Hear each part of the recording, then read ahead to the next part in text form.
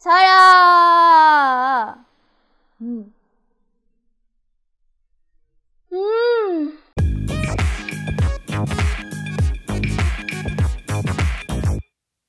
Minasan, konnichiwa. Okashi Japan 最新エピソードにようこそ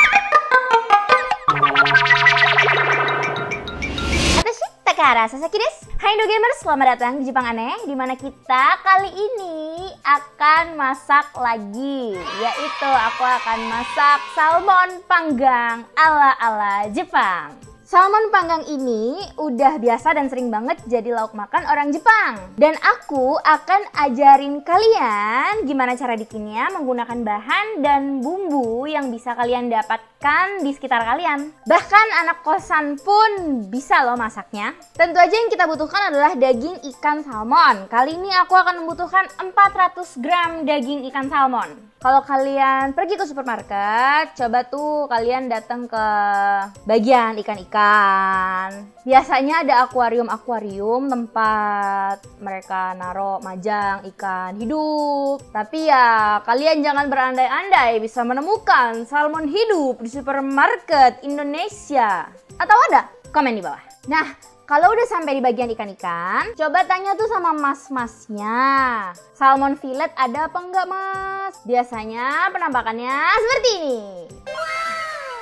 Untuk bumbunya, siapkan jeruk lemon atau jeruk nipis agak banyak gak apa-apa. Kemudian kalian juga butuh mirin, soyu, garam. Potong jeruk nipis atau jeruk lemon. Usahakan motongnya bikin kalian mudah meresnya ya. Potong filet salmon kalian seperti ukuran per porsi kalian makan. Terus taruh deh ke baskom. Kenapa baskom?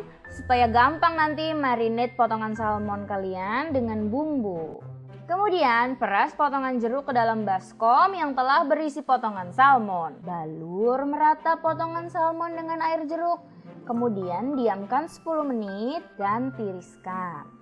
Tuang mirin sebanyak 4-5 sendok makan. Tambahkan soyu 2 sendok makan.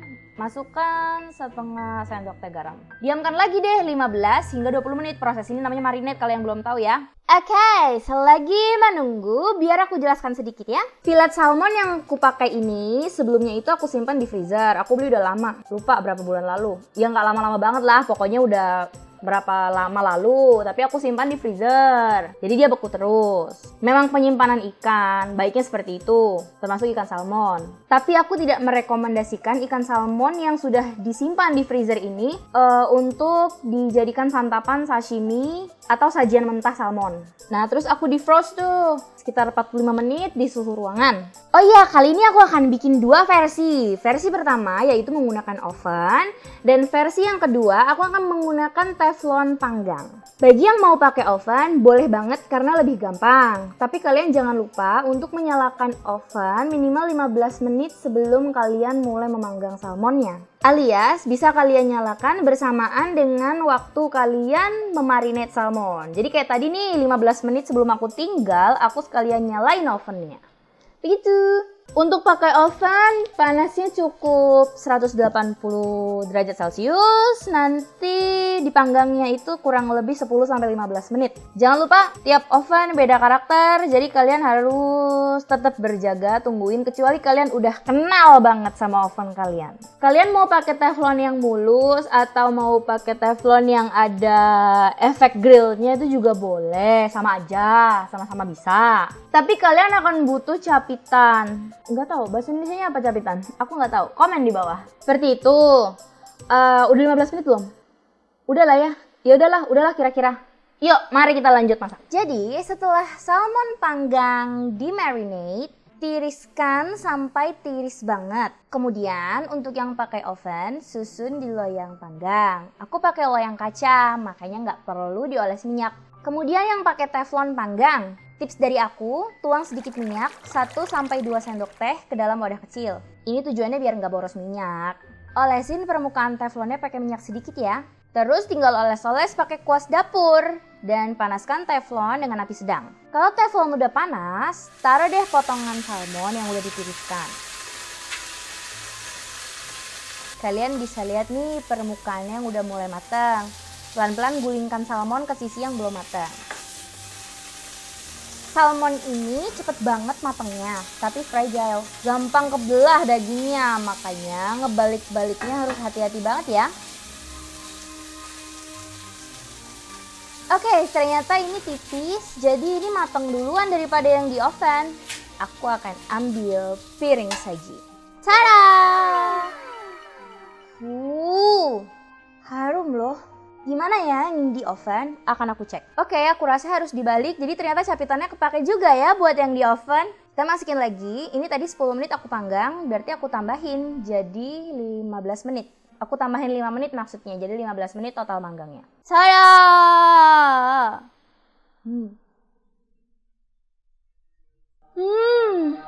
Harum. Ini desu Wangi banget baunya. Pakai nasi Jepang enak nih. Udah ambil nasi. Aku akan coba yang ini dulu. Mari kita coba. Hmm.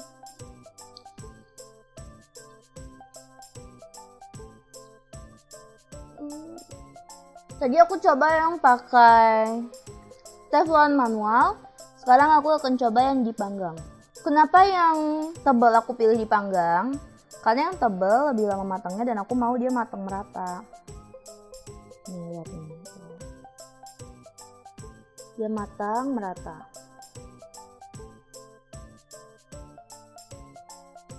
Hmm. Asyik.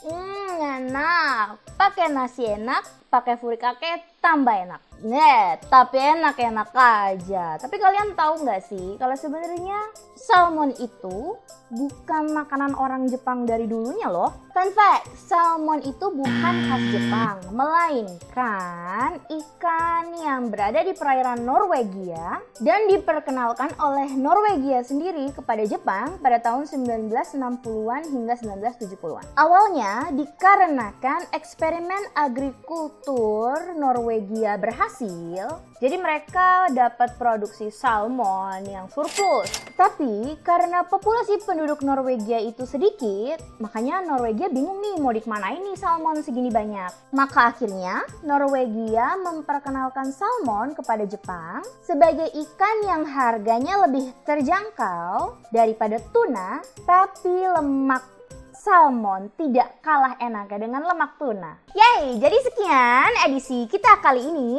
Kalau kalian suka sama aku, kalau kalian mau lihat cara masak-masakan Jepang lainnya, jangan lupa subscribe Queen Sound Studio, follow my Instagram, dan jangan lupa juga untuk share video ini ke semua teman kalian supaya teman kalian juga masak-masak. Sekarang tiba saatnya Oshiete!